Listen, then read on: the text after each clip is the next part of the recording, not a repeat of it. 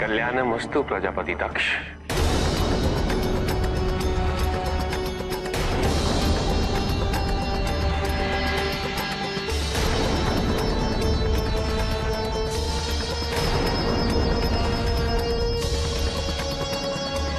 देखा, शिव के अभिमान की चरम सीमा पार हो गई है।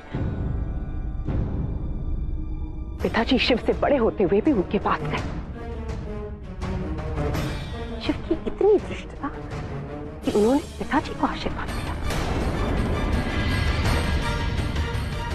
जैसे पिताजी उनके ससुर न होकर कोई छोटे से बालक हो। हमने अपने पिता का ऐसा अपमान कभी नहीं देखा। चलिए यज्ञ का मुहूर्त आरंभ हो चुका है। यज्ञ? कौन सा यज्ञ पिताजी? मेरे अपमान का यज्ञ।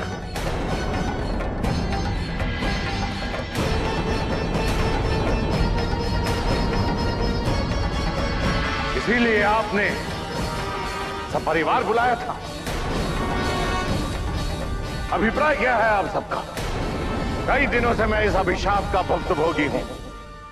सर्वप्रथम मेरी इच्छा के विरुद्ध मेरी पुत्री सती का विवाह शिव से करवाया। उस संस्कारहीन शिव से।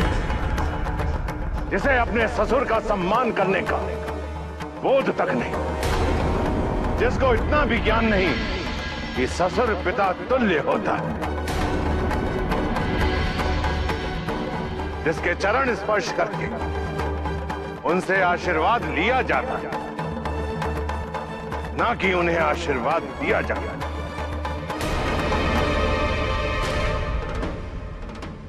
मुझे शिव से सम्मान की कोई लालसा नहीं है।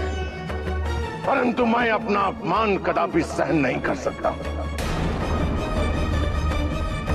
मैं आज सबके समक्ष ये प्रण लेता हूँ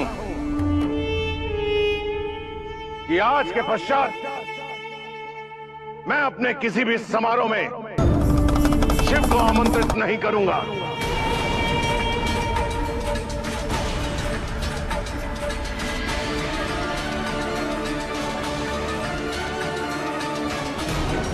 और मैं प्रतिज्ञा करता हूँ कि जिस समारोह में शिव की उपस्थिति हो, ऐसे प्रत्येक समारोह का मैं बहिष्कार करूँगा।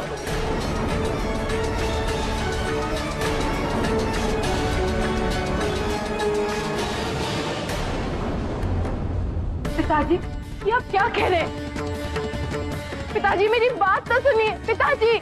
माँ माँ, आप समझाइए ना।